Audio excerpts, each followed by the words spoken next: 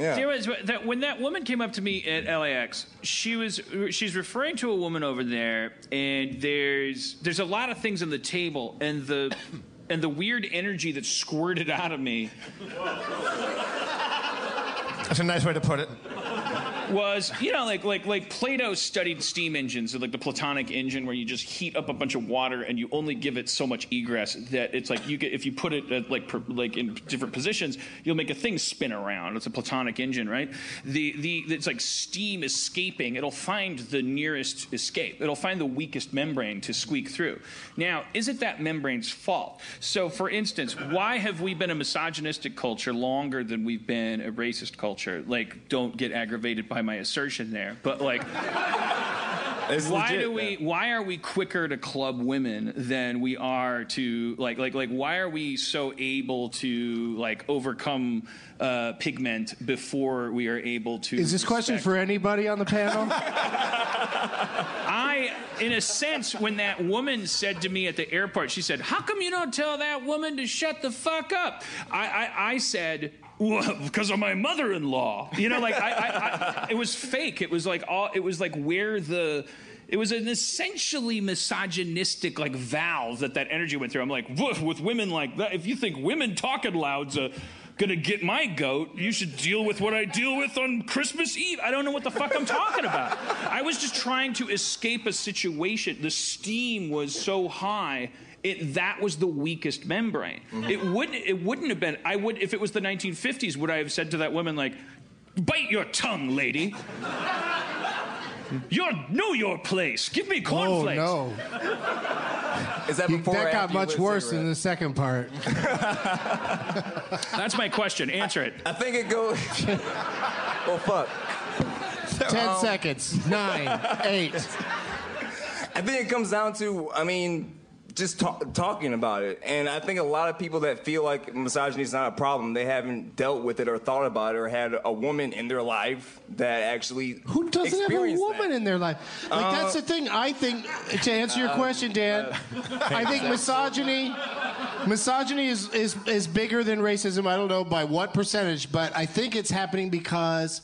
Uh, women are 50% like women are a bigger threat because there's more of them and uh, and men Or that they're- men that are threatened by women are going you know what i mean they're going to be threatened because it's half of the people and it's also their mother it's also their mama Yes, is a because you- fucking woman Because you know your memories of becoming a man involve becoming abusive to your mother, uh, like like like like uh, in a lot. It's like you're, the day, just shut up, mom. I don't want to do this because right was- and you didn't as a white kid you weren't growing up going shut up black guy like that. Yeah, if you're so a- it's all directed at women and not race i like Yeah, how we've so- solved that problem race Yeah. racism's over misogyny needs we some need to uh, bring we race need to back work into on it puberty. So I'm so glad there's no women up here to defend themselves right your now. mama's This is- got your mom's didn't hit you, did they?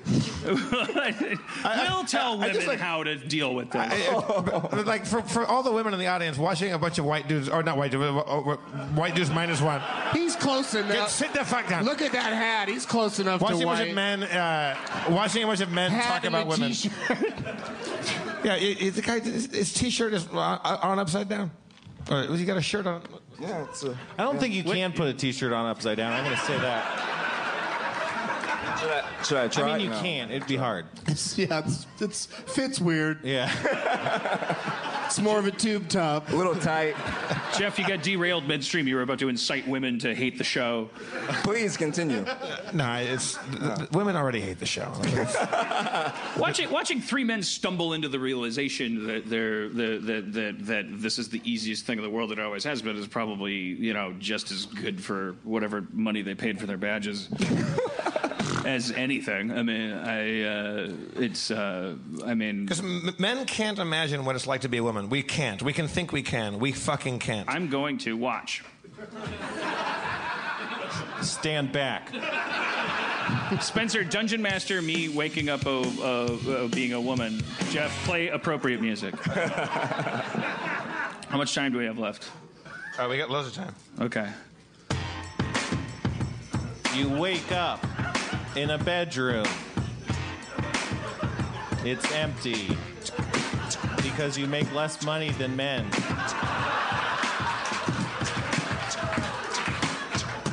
I get out of bed. All right. You're still in the bedroom. I put I put on whatever outfit will walk the line between me being branded a slut and uh, me being dismissed as a human being. You managed to thread the needle once more, like millions of women across the earth do every morning of their lives. Slutty outfit. Can I ask? Can I ask what I'm wearing? Oh, no. Okay, that's probably a good idea. I go down to uh, get into an Uber All right. where I'm certain that someone will simply drive me to work. It's doing the thing where it's like a block away, but it's just spinning around for the last five minutes. It shows up, and the guy makes no indication that that wasn't supposed to be part of his job. I, I get in. Oh, he touches you. I file a complaint with Uber. It doesn't matter. He gets promoted to head of Uber.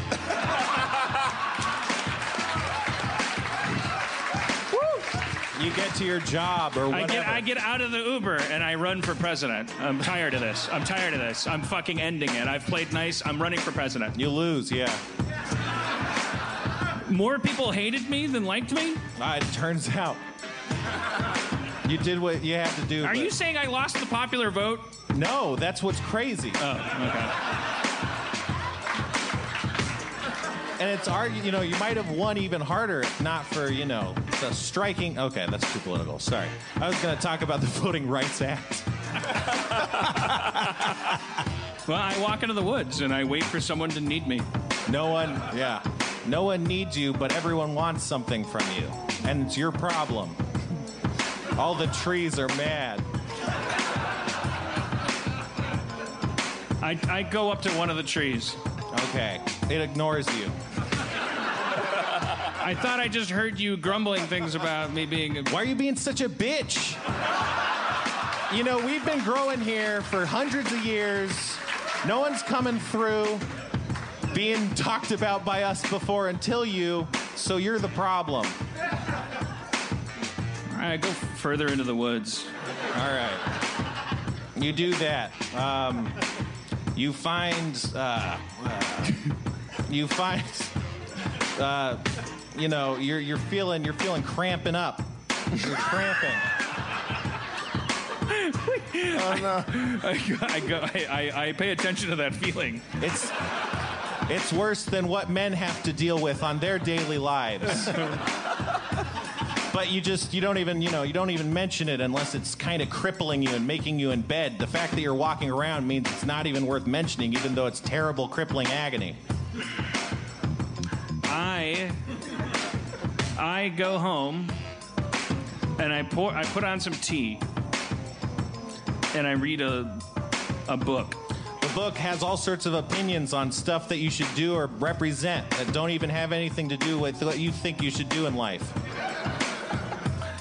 I I turn on the television. I feel like we peaked. Have we peaked? Sorry.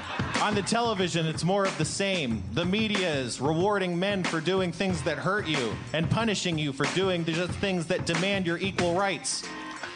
Yeah, see, this is what I mean. It's just, it's just the sad reality of life. I, I, I try I try to do comedy about the situation because I think it'll be so funny that it'll make people yeah like, Yeah, uh, why aren't women funny? This is terrible. Who said that? Everybody on Earth. I, I, I, I, I try to prove them wrong by being really uh, dirty and You lateral. do amazing stuff, and a couple alt comedians and people in the scene are like, "Yeah, she's getting really big," but you know, you've done everything that everyone. I, I don't know. I, I, I, I just say a really funny joke. I'd say a really funny joke that's like kind of fucking crazy because it's inappropriate. And Oh, like, it goes over well. You get what's uh, what's considered a polite chuckle, and after the show, seven guys try and hit on you, saying, "You know, you're actually pretty funny." now can I be president? No, All right. So, well, Spencer Crittenden, world's best feminist. Yeah. Oh, yeah. Male, male feminist. World's best male feminists. But like to really answer your question, I really think you're talking about abuse. you were talking about Later abuse. that same night. You were talking about the mental abuse earlier. I think men have that problem. They don't want to accept the fact that you know they've you know maybe abused women you know emotionally, even if it's unintentional or not. They don't want to acknowledge it. And I think Yeah. that's the biggest problem. Oh no, that's the most offensive thing. Racially, I always repeat that joke that our late friend Mario from the drawing room said. It's like you can call a white guy a honky, you can call him a cracker, but if you call him a racist, he gets really bent out of shape. Um, if you ca- you can call a man anything you want, but if you say that he's abusing women, most they'll, they'll fucking choke you. To What? Uh, that, but we do. I, I think that you know we should probably. It's all you have to do is just like put a little radar tag on your lapel and just be like, oh, how am I interacting with with anybody, with people? You just that's what my therapist is always saying. She's like, you don't have to quit drinking. She said that. She said, just notice when you take a drink. That's it. That'll be the beginning of it. Yeah, Your look in the relationship cup, with see it. what's up. Oh, vodka again. More Looks like vodka. But yeah, I think, but, but that's why. That's why people that we often complain about, people that are outspoken, and it was like, it was like we go like, oh, they get tweeted out. So we had our friends from Redu- Reductress on the podcast, and they talked about the the women that stand out that that they might be just comedically saying, hey, look look at this phenomenon. It's like saying, look at Joan of Arc. It's like it's like there's more kindling there, and there's drier weather, and there's easier ways to start fires, and and and it turns to witch burning way faster when someone is just saying, hey, be aware of this. Like uh, it, it, it, it, but like being aware of something doesn't mean someone wants your pants. No one's going to take your pants. Like like you, if if privilege is real and you admit that it's real, it means you have privilege. It means no one can have your pants. Like, Yeah, you like- can't pry my pants from my cold hard. cold, you know what I meant. Cold dead, cold dead heart fingers. Cold dead dick. It took me a while to see things that way too. It was like because I, I, as I've said a thousand times, it's like I get it. You're a doughy white guy. You've been born. You come up through the system. You you endure what you the perceive. system. The system. The mean Yeah. streets. You're out there in Gen Pop. the system. Okay, granted. Just What- click your heels, Dorothy. You've been in Oz the whole time. what you perceive as the system, and then and then when you start hearing talk about how you've had it easy, how are you supposed to react if you have an ounce of salt in your salt bladder? I don't know how medicine works. Salt butter. Yeah, people feel really insecure. Really, uh, men feel really insecure really quick when that's even challenged, which I think is a weird thing, and they don't Right. even want to meditate on it at all. I would argue the one thing is that the one thing that unites us all is that we all would have the same reaction if we were all told, "Shut up, stop complaining, you've had it easy." We all. It's just that there's got to be somebody at the top that actually has had it easy. Right. Tho- those people are gonna hear that. They're gonna take that the wrong way. It it, it, it, it is the same reaction though. It's like it is the the thing that we say to each other when someone says, uh, "I I work as a, a clicky clack clack clacker, and I I don't get enough click clacks for my click cluck."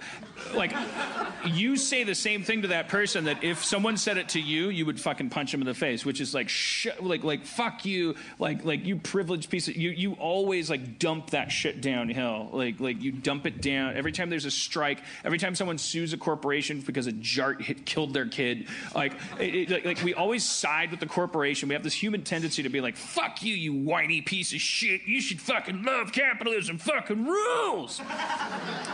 What was my point? I don't know. Watch Seeso. I think your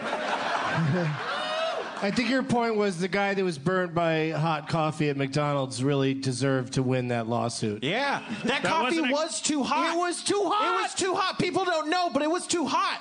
It wasn't a goddamn guy. It was a fucking old lady. Oh, I didn't know who it was. I just remember Kramer trying it on a Seinfeld. I just saw that episode in syndication. It did. They had like the Johnnie Cochran like like analog guy. Yeah, Did you did you watch it on Seeso?